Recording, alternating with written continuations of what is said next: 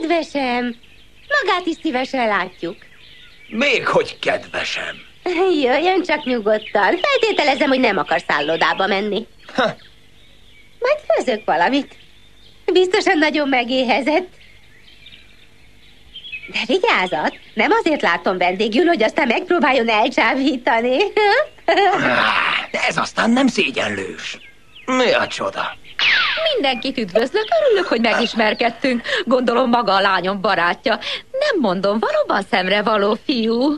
Mi? Szemre való? Á, mi ez?